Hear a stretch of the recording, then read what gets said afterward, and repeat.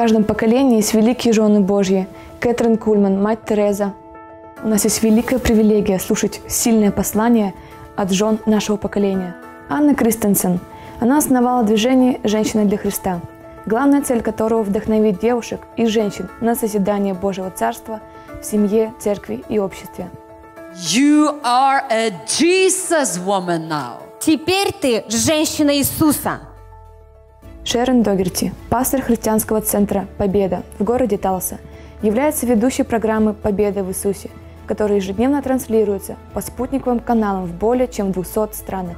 Right now, our world needs signs and wonders and Вы miracles. знаете, нашему миру сейчас нужны чудеса и знамения. And God can use anybody Бог может использовать для этого каждого любого that's человека. willing. а также супругу начальствующего епископа, руководитель женского служения РЦХВЕ Лариса Гробовенко. И Дух Святой продолжает служить в каждой из нас. Мы ждем тебя с 1 по 3 ноября в городе Пермь. Будь частью большего.